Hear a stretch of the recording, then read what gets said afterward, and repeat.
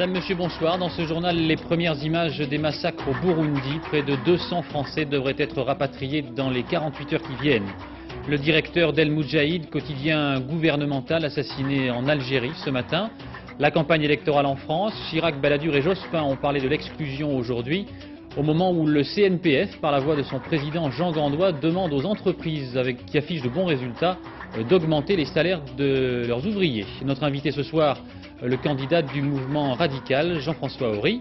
Et puis nous serons également en direct avec Pierre Arditi qui préside la 9e nuit des Molières qui sera retransmise en direct du théâtre Marigny à 20h50 sur notre chaîne.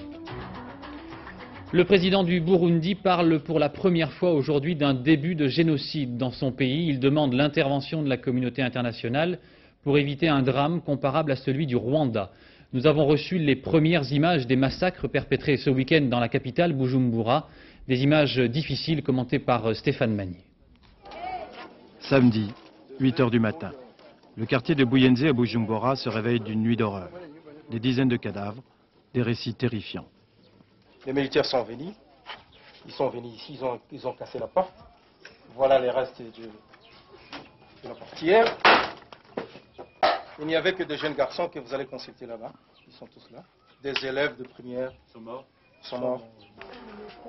Celui-ci aussi, il était au collège. Il est assassiné. L'autre là, le petit, qui était encore à l'école primaire. À quelques mètres du collège, d'autres témoignages mettent en cause la police et l'armée, entièrement contrôlées par les Tutsis. Vendredi soir, elle boucle les lieux. Officiellement, elle cherche des extrémistes Hutus et elle pénètre dans les maisons. On a vu des gendarmes, trois gendarmes, ils ont dit vous ouvrez ou bien euh, on, va, entrer par force. Puis ils sont entrés subitement. Ils ont dit euh, vous donnez de l'argent ou bien on vous tue tous, toutes, puisqu'on n'était que des femmes. Et puis on a commencé à fusiller tout le monde. Par hasard, j'avais 40 dollars, j'ai donné comme ça, ils prenaient, vous me laissez. J'ai donné 40 dollars, ils m'ont laissé comme ça. Ce quartier de Bujumbura était l'un des derniers où les Hutus et les Tutsis vivaient tant bien que mal, côte à côte. Désormais, c'est fini. Quelques minutes après que ces images aient été tournées, la police et l'armée évacuent le quartier. Les journalistes y sont interdits. Et l'exode commence. En quelques heures, la plupart des habitants d'origine Hutu prennent la route du Zaïre, à 30 km de là, persuadés que le pire est encore à venir. Moi, je ne compte pas revenir aussi longtemps que euh, l'opinion internationale n'a rien fait. Désormais, il n'y a plus que des Tutsis à Bujumbura, ou presque. Les Hutus ont fui ou bien encerclent la ville, contrôlant la campagne. Les deux communautés se retrouvent face à face, partagées entre la tentation de la violence ou un effrayant pourrissement. 150 des 500 Français présents dans le pays seront évacués dans les 48 heures qui viennent. Bernard Debré, le ministre de la Coopération, euh, partira ce soir pour le Burundi. Nous sommes en direct avec notre envoyé spécial Laurent Boussier. Laurent, vous êtes arrivé à Bujumbura en milieu de journée. Euh, vous avez pu sillonner la capitale. Quelle est la situation ce soir? Écoutez, la situation euh, aujourd'hui et ce soir est restée très tendue à Bujumbura. À chaque carrefour, devant les hôtels, sur les routes qui permettent d'entrer et de sortir de la ville, il y a partout des policiers et des miliciens. La tension est restée très forte, très vive, mais il faut dire que la journée était quand même plutôt calme, comme si après cette fin de semaine terrible, chacun s'observait. On a même vu dans les quartiers de Bouiza et de Bouzeni désertés par la quasi-totalité des habitants Hutus, quelques personnes revenir. Alors évidemment, on ne sait pas s'ils reviennent définitivement ou s'il s'agit de retours temporaires pour essayer de sauver quelques biens personnels. Aujourd'hui, en fait, vous le disiez, la seule vraie nouvelle est venue de l'ambassade de France. Demain, un avion d'Air France spécialement affrété viendra évacuer 150 ou 160 personnes, des Français, en majorité des femmes et des enfants, dont la présence n'est plus indispensable ici. Dans cet avion, il y aura donc le ministre français de la coopération Bernard Debré. Il ne viendra pas seulement pour euh, superviser l'évacuation, mais il, viendra, il viendrait aussi pour une mission de médiation. Il viendrait pour essayer de faire évoluer cette situation euh, qui pourrait devenir catastrophique. Merci Laurent. Toujours euh, à l'étranger, en Algérie, le directeur du quotidien gouvernemental El Moudjahid est tombé ce matin sous les balles d'un commando islamiste qui l'attendait à la sortie de son domicile dans la banlieue d'Alger. C'est le 35e journaliste tué en Algérie en moins de deux ans. Véronique Tavou. Un bureau vide, le directeur du Moudjahid n'a pas eu le temps ce matin d'arriver au siège de son quotidien à Alger. Consternation, une rédaction en état de choc, dans les locaux du journal, on ne veut pas encore y croire. Il y a quelques semaines, dans ce bureau qu'il aimait tant, Mohamed Abderrahmani regardait avec émotion les photos de ses confrères assassinés ces derniers mois. Comme tous les journalistes algériens, il se savait menacé. Malgré cela, il ne prenait pas de précautions particulières. Et je suis comme tous mes collègues. Encore une fois, ciblé. On aime bien utiliser ce mot. Avec cynisme d'ailleurs. Toute sa carrière, Mohamed Abderrahmani l'avait faite au sein du quotidien gouvernemental. Entré en 1965 à El Moudjahid, il était aujourd'hui considéré par tous comme le père de la presse algérienne. Le monde devrait prendre conscience de ce, de, ce drame et de, cette euh, euh, déchirure euh, que ressent le peuple algérien face à ces, disons en tout cas à, ces, crimes répétés contre les, intellectuels et principalement les journalistes. Un journal unique dans les kiosques demain matin, un seul titre sera mis en vente, l'hommage que toute la profession a souhaité rendre à Mohamed Abderrahmani. En France maintenant, à l'aube d'une semaine sociale mouvementée, une grève à Air Inter à partir de demain et pour trois jours, un mouvement national jeudi à la SNCF et dans le métro parisien. Le CNPF sort de son silence. Jean Gandois, le patron des patrons français, tout en affirmant qu'il resterait neutre dans le débat présidentiel, a prôné ce matin une augmentation des salaires dans les entreprises qui enregistrent de bons résultats. Eve Mété et André Germain.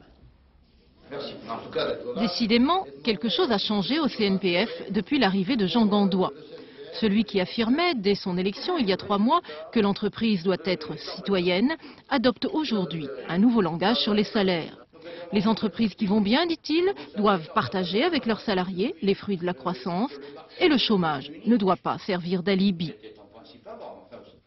Alors si vous dites déjà que les résultats sont bons, mais que comme les années précédentes, on ne va pas augmenter leur pouvoir d'achat, parce qu'au plan global français, ça va contribuer à améliorer la situation de l'emploi, alors ça c'est de la provocation. Ça c'est de la provocation. Moi je vous demande si quelqu'un à essayer de tenir ce langage à un gars qui est ouvrier dans une entreprise qui va bien et qui, euh, pour le moment, tire encore plus la langue parce qu'il a deux fils chômeurs chez lui qui vivent totalement à ses crochets pour une raison simple, c'est qu'ils ne trouvent pas d'emploi. Le CNPF, ce matin, avait certes des accents plus classiques, doléances adressées aux politiques pour l'allègement des charges sociales et des procédures administratives. Mais changement de ton toujours, Jean Gandois s'est montré soucieux de réveiller les entreprises face aux 3 300 000 chômeurs. nous en sommes arrivés en tout cas à, l'insupportable, euh, à la fois en matière de malaise social et de gâchis économique. Et, et surtout, l'insupportable si ça ne bouge pas, l'insupportable si on ne redonne pas l'espoir. Demain, Jean Gandois doit rencontrer les syndicats. Menu de la table ronde, l'emploi, mais les salaires seront forcément aussi sur de nombreuses lèvres. Le CNPF, euh, Eve Mété le disait, ne nous a pas habitués à ce genre de discours ces derniers temps. Françoise Laborde, à quoi est dû ce changement de ton? Sans doute à la personnalité euh, de Jean Gandois. Et c'est vrai que le plus spectaculaire dans ce discours que l'on a entendu, c'est le volet sur les salaires. Alors que démarre une semaine très contestataire avec des grèves à la SNCF et à Air Inter entre autres, Jean Gandois semble justifier les revendications salariales, parlant même, on l'a entendu, de provocation pour les patrons qui ne les entendraient pas. Un discours qu'un syndicaliste ne pourrait pas renier. Inattendu aussi ses propos sur le SMIC qu'il ne faut pas, selon lui, supprimer. Quant aux charges, s'il estime, comme ses prédécesseurs, qu'il faut les baisser, il limite cette demande au bas salaire. En fixant comme priorité la réduction du chômage, dont il juge le niveau insupportable, Jean Gandois révèle un ton nouveau CNPF, un CNPF plus conscient des fractures sociales du pays et qui se donne pour tâche de désamorcer les affrontements. Un CNPF dont le credo se résume en une formule lancée cet après-midi par son président, un dialogue social raisonnablement conflictuel. S'il ne prend pas directement parti dans la campagne présidentielle, Jean Gandois dépasse le strict cadre corporatiste des intérêts patronaux. Il n'est pas tout à fait sûr que ce discours séduise tous les adhérents du patronat français. Merci. Les trois principaux candidats à l'élection présidentielle se sont succédés, eux, devant les participants à un colloque sur la lutte contre l'exclusion. Lionel Jospin, Édouard Balladur et Jacques Chirac, un chassé-croisé suivi par Marie-Pierre Samitier et Philippe Luzzi. Rescapée de la misère et de l'exclusion, Liliane est venue assister au colloque. À la question « Pensez-vous que les hommes politiques puissent faire quelque chose pour les exclus ?» Voici sa réponse. Ils pensent qu'ils écoutent plus les gens. Il faut qu'ils écoutent les pauvres. S'ils les écoutent pas, ils pourront jamais... Euh, pourront rien faire. C'est pour ça que vous êtes venu aujourd'hui C'est pour ça qu'on est venu pour se rendre Pour leur parler Pour leur parler, si je peux, oui. J'aurais bien pouvoir leur poser des questions. Mais de questions, Liliane n'en posera pas.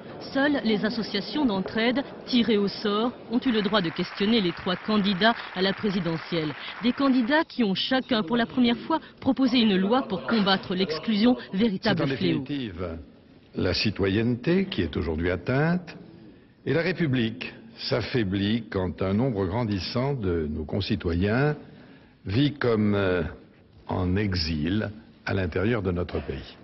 Jacques Chirac a donc proposé une loi d'orientation générale. Lionel Jospin ensuite a souhaité une loi programme. Si je suis élu, je demanderai donc au gouvernement de soumettre au Parlement le vote d'une loi d'orientation, support d'un plan de lutte contre l'exclusion et pour l'intégration sociale, faisant appel à l'engagement de toute la nation. Édouard Balladur, quant à lui, propose une charte de la cohésion sociale, une loi votée au plus vite.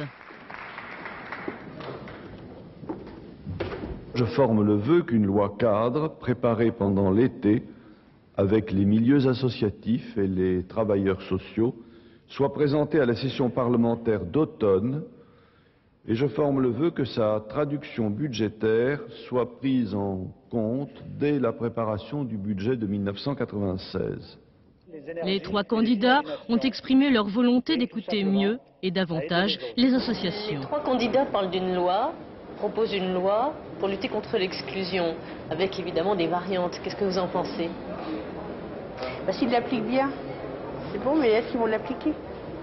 Ça, ça pas à voir. Quant euh, aux attaques entre partisans d'Edouard Balladur et de Jacques Chirac, elles ont continué aujourd'hui après Alain Juppé, qui, vous l'entendiez hier soir sur ce plateau, dénonçait le pilonnage dont, selon lui, sont victimes les Chiraciens. Nicolas Sarkozy estimait euh, ce matin que Jacques Chirac euh, raconte des fariboles. Édouard Balladur est lui-même revenu sur cette polémique il y a quelques minutes sur France 3. Le Premier ministre a précisé qu'il voulait bien être tolérant, mais qu'il ne se laisserait pas marcher sur les pieds. Si personne, si personne ne dérapait plus que moi et ne faisait plus de polémique que moi dans cette campagne électorale, elle aurait une toute autre dignité. Je suis très tolérant, mais je suis bien décidé à ne pas me laisser marcher sur les pieds. Et je pense qu'on n'attend pas de moi que je me livre à ce, combat, car c'en est un, les deux mains liées dans le dos. Il n'y a pas d'un côté ceux auxquels tout est permis, bons et moins bons procédés, et les autres qui n'auraient jamais le droit de répondre. Je prends les Français à témoin. Cette campagne électorale n'a pas, je le trouve, le caractère qu'elle devrait avoir. Il s'agit de l'avenir du pays. Euh, si les attaques se précisent à moins de quatre semaines du premier tour, certains partisans d'Edouard Balladur ont choisi un soutien beaucoup plus discret. C'est notamment le cas de Pierre Méhaignerie, le ministre de la Justice, que l'on n'entend pas très souvent dans cette campagne. Reportage de Marie-Pierre Farkas. À Vitré, Pierre Méhaignerie n'est plus ministre de la Justice. Ici, on salue Monsieur le maire. Réélu avec 70% des suffrages au dernier scrutin, on ne peut pas dire qu'il soit vraiment menacé. Pour 1200 euh, francs, vous avez deux pièces. Vous voyez un peu, ça vous en dirait pas? Très fier du confort de ses logements sociaux ou encore du style médiéval de sa mairie installée au rez-de-chaussée d'un château du XIe siècle. Il est plus à l'aise ici pour donner des leçons de campagne, même à Édouard Balladur, son candidat. Il manque des choses dans les programmes de les candidats, y compris celui d'Édouard Balladur. Pour moi, en effet, je pense que la France a de formidables atouts. Les autres pays européens le croient, mais nous avons des faiblesses que nous n'avons pas su corriger. Je voudrais qu'on parle un petit peu des affaires. À propos du financement du CDS, Jean Glavani a dit qu'il faut que le ministre s'attende, le ministre de la Justice, à être convoqué devant un tribunal. Le CDS est traité de la même façon que les autres partis.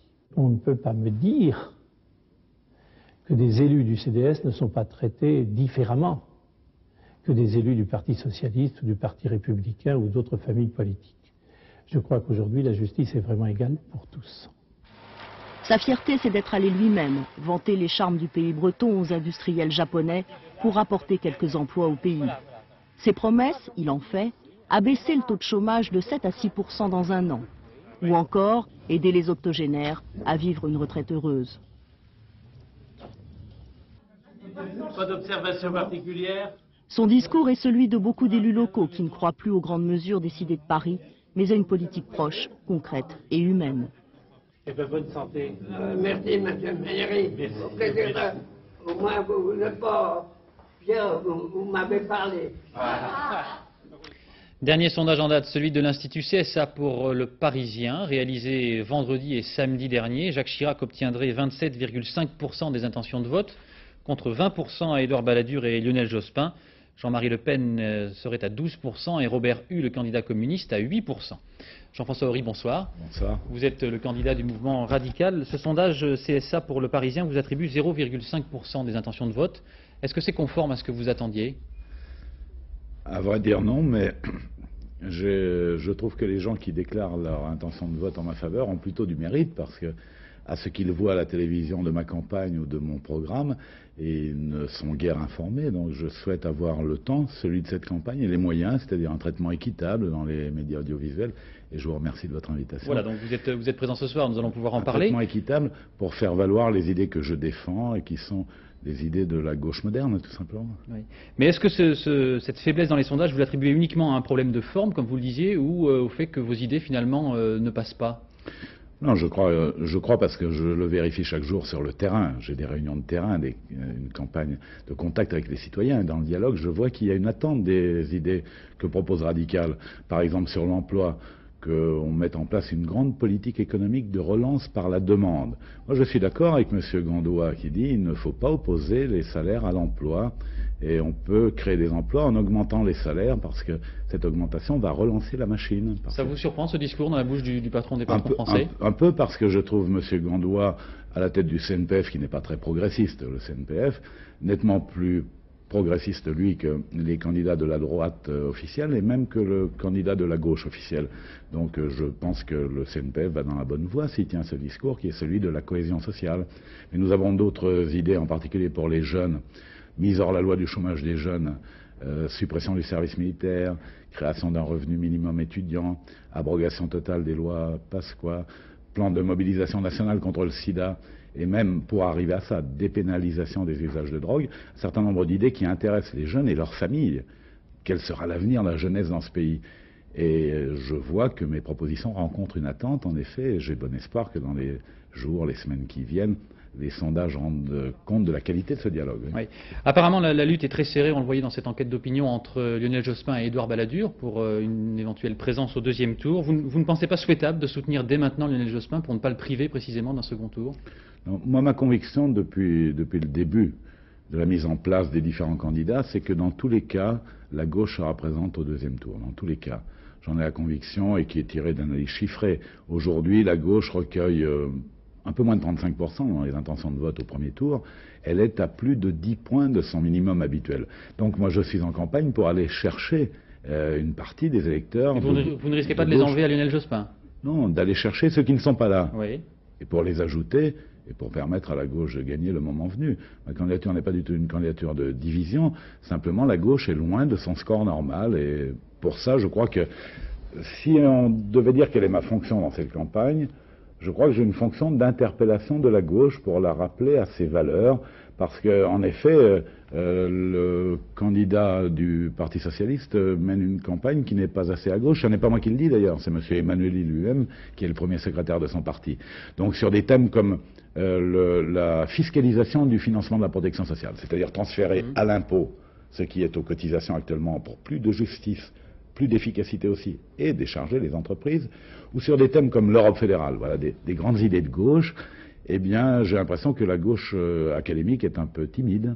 Est-ce que vous avez vos 500 signatures nécessaires pour ça, se présenter ça, ça ne me pose pas de problème. Ça en pose, si j'ai bien compris. Vous les avez, oui, oui ou non J'en ai la quasi-totalité et je les aurai facilement dans le délai qui nous est ouvert. Ça en pose en revanche à M. Le Pen, et ça, je ne suis pas étonné, puisque maintenant les signatures sont publiques et un certain nombre de maires euh, hésitent à apporter leur soutien à quelqu'un qui est responsable de crimes et d'assassinats. Oui. Un dernier mot, Jean-François Horry. Bernard Tapie a annoncé ici, il y a euh, neuf jours environ, qu'il allait euh, soutenir son copain Jean-François Horry. Est-ce que ce soutien est actif? Est-ce que vous l'avez revu depuis? Ah oui, je vois, bien sûr, on en parle, on parle des modalités. On ne le voit de- pas beaucoup à vos côtés dans la campagne. On parle des modalités de ce soutien. Bah, il a eu une semaine un peu difficile la semaine dernière, il se repose, c'est bien naturel. Et nous parlons ensemble des modalités de ce soutien. Et je, je Qui veux ne, en- vous embar- qui ne vous embarrasse pas particulièrement. Alors j'entends dire que ce soutien devrait me gêner précisément parce que Bernard Tapie a eu des difficultés judiciaires. Eh bien moi je veux dire que ça n'est pas mon genre, parce qu'un ami a des difficultés, de refuser la main qu'il tend. Et j'accepte le soutien de Bernard Tapie bien volontiers. Je vous remercie Jean-François Horry d'avoir accepté notre invitation. Demain soir, euh, c'est Jean-Marie Le Pen qui sera l'invité de Carnet de campagne. La lutte contre l'exclusion, on vient de le voir, est l'un des chevaux de bataille de cette campagne. On l'a vu donc tout à l'heure. On parle beaucoup euh, moins du problème de l'immigration, un problème quotidien. Il y a quelques jours, un ressortissant zaïrois, marié à une Française et père d'un enfant français, a été renvoyé dans son pays. Ses avocats ont saisi la Commission européenne des droits de l'homme. Anne Poncinet et Pierre-Laurent Constant. D'habitude, Joris est gardé par son papa, car son papa n'a pas le droit de travailler. Il est zaïrois en situation irrégulière. Mais cette semaine, il a été expulsé vers son pays d'origine. Il était convoqué à la préfecture pour examiner son dossier. Il en est ressorti pour monter dans l'avion. J'ai réussi à lui passer un, un vêtement et quelques, quelques pièces de monnaie pour téléphoner à son avocat éventuellement. C'est tout. Et il est parti comme ça Mhm. C'est un, un déchirement, tout simplement. On s'est rencontrés, on, on s'est appréciés. J'avoue que je ne lui ai pas demandé ses papiers, c'est vrai. Avant de tomber amoureux, c'est vrai, je ne lui ai pas demandé ses papiers. J'ai peut-être eu tort. Car la loi a changé pour traquer les mariages blancs. Et tant pis pour les mariages d'amour. Parent d'enfants français, Wumbanzaki a le droit de résider en France. Mais l'administration est intraitable. Pour faire valoir ce droit, il doit d'abord retourner dans son pays. Il s'agit d'un mensonge de l'administration. Depuis 1993, elle répète ça aux étrangers. La situation n'est jamais régularisée administrativement quand ils retournent dans leur pays d'origine. Ils ont des problèmes d'argent, ils ont des problèmes administratifs. Alors, on ne comprend pas pourquoi on ne la régularise pas ici. C'est beaucoup plus simple, c'est facile. En fait, la régularisation dans le pays d'origine n'est pas impossible, mais elle se transforme souvent en parcours du combattant administratif. Monique, elle, a posté aux Zaïre toutes les pièces du dossier et espère que les démarches ne dureront pas des mois, comme c'est fréquemment le cas. L'ouverture du procès de Willy van Coppernold devant la cour d'assises de Nîmes dans le Gard. Ce Belge de 51 ans est jugé pour le meurtre d'un enfant et des violences sexuelles sur deux adolescents. Les faits remontent au mois de mars 1993. Il venait d'être libéré après cinq années de prison pour des faits similaires. À Nîmes, Yannick Aroussi. Dans cette affaire, je n'ai pas d'excuses, je vais être condamné et c'est tout ce que je veux. Dans le box des accusés, Willy Van Coppernold se dérobe quand il s'agit d'évoquer les faits. Le président Gerbet reprend. Il faut que vous nous disiez comment cet enfant est mort. Alors, Van Coppernold donne sa version, peu plausible selon l'instruction. Il parle de provocation de la part du jeune garçon. Il aurait pris peur et pour qu'il se taise, lui a fracassé le crâne avec une pierre. À ce moment du récit, le père d'Abdel quitte la salle d'audience, excédé, révolté. Ce qui est arrivé à notre enfant et ce qui peut arriver à vos enfants, à leurs enfants, c'est atroce. C'est aujourd'hui, je parle au nom de la société, il faut supprimer les pédophiles. Les débats de cet après-midi n'auront pas permis d'en savoir plus sur ce qui s'est passé avant le meurtre d'Abdel, près de Rémoulin le 27 mars 1993. L'autopsie pratiquée plus de trois semaines après la mort, lors de la découverte du corps, n'a pas permis de déterminer si l'enfant, âgé de 11 ans, a été violé. Et Willy Van Coppernold conteste l'acte de pénétration sexuelle constitutif du crime de viol. Pour le reste, il reconnaît les faits qui, lui- tels qu'ils ont été exposés, grosso modo, par l'accusation. Il reconnaît le meurtre. Il reconnaît le meurtre. Selon les psychologues entendus aujourd'hui, Van Coppernold présente un déséquilibre psychopathique. Il est un pervers sexuel. Il est également un multirécidiviste, une trentaine de condamnations en France et en Belgique pour des affaires d'escroquerie et de mœurs. Quatre jours avant de tuer Abdel, il sortait de prison après une peine de trois ans et demi pour un viol d'adolescent. Le ministre de la Défense, François Léotard, a signé aujourd'hui au Koweït un très important contrat d'armement, environ 500 millions de dollars, pour la livraison de huit patrouilleurs et d'un radar militaire. Les patrouilleurs seront construits en Normandie. Et puis au moment où l'inquiétude grandit sur l'état du sarcophage qui protège les réacteurs de la centrale nucléaire de Tchernobyl en Ukraine, une commission de l'Union européenne s'est d'ailleurs rendue sur place récemment. Une autre république de l'Est, euh, la Slovaquie, souhaite achever la construction de sa centrale de Mokovche. La Slovaquie est pauvre en énergie et veut donc la mettre en service rapidement, mais l'Union européenne refuse pour l'instant de verser les fonds nécessaires pour assurer la sécurité. notre envoyé spécial Patrice Pelé a pu visiter cette centrale. Regardez. Sans précipitation, tous les matins, ils sont 1600 à franchir ce poste de garde de la centrale de Morovje. La raison de ce calme, c'est que ces employés travaillent dans une centrale à l'arrêt, une centrale qui n'a jamais fonctionné. Car Morovje est un cas unique. Abandonné en 89 par les Russes, seul l'extérieur est terminé. À l'intérieur, sur les quatre réacteurs prévus, deux seulement ont été commencés, mais jamais terminés. Ici, c'est une centrale de nouvelle génération. Aussi, je me permets de dire qu'il n'y a pas plus de risques ici que dans les autres centrales nucléaires. Un avis qui n'a pas toujours fait l'unanimité. Morovje, de conception soviétique, présentait des faiblesses en matière de sûreté nucléaire. Pour éviter toute catastrophe, un groupement d'industriels européens, dont EDF fait partie, a décidé d'épauler les Slovaques. Pendant plusieurs mois, centimètre après centimètre, la centrale a été auscultée. Pas moins de 40 modifications avant mise en service ont été suggérées. Exemple. Il faut vérifier que dans ce local, nous n'ayons pas, par exemple, ces deux câbles qui auraient la même fonction, qui concourraient à la même fonction. Imaginons qu'on ait un incendie dans ce local, on perdrait les deux. On accepte d'en perdre un, il faut que les deux autres soient dans des locaux différents, par exemple derrière ce mur, et donc protégés de l'incendie. On accepte un incendie ici qui n'aurait aucune conséquence de l'autre côté du mur. Pour les Slovaques, il est impératif de démarrer Morovje le plus vite possible. En contrepartie, les autorités promettent de fermer plus à l'ouest une autre centrale jugée dangereuse. Une solution qui ne satisfait nullement certains pays limitrophes, comme l'Autriche, où les écologistes crient au scandale dans l'ancienne euh, Allemagne orientale. Il y a le même type de réacteur et là les autorités allemandes ont décidé de, ne pas le mettre en service parce qu'ils considéraient euh, euh, impossible d'atteindre des niveaux de sécurité acceptables en Allemagne. Ouvrira, ouvrira pas, dans un mois la BIRD, la Banque européenne, donnera peut-être près de 4 milliards de francs pour terminer Morovje. Après 10 ans d'attente, l'arrivée des 1600 employés tous les matins sera pleinement justifiée. En Italie, le mystérieux assassinat d'un héritier de la maison Gucci, la très célèbre société italienne de maroquinerie et de parfums. Maurizio Gucci a été assassiné ce matin à Milan. Correspondance Alain de Chalbon. Ainsi finit Maurizio Gucci, l'héritier d'une des plus célèbres marques du luxe italien. Trois balles dans la tête, alors qu'il entrait dans l'immeuble de Milan où se trouvaient ses bureaux morts sur le coup. Sa compagne et sa fille, arrivées très vite sur les lieux, n'ont pu que constater le décès. Le tueur le suivait depuis son domicile et s'est enfui en compagnie d'un complice après avoir tiré encore deux balles sur le concierge. Un contrat proprement exécuté selon la police. Maurizio était le dernier Gucci à avoir dirigé la maison vendue à des financiers arabes il y a deux ans. Non sans mal.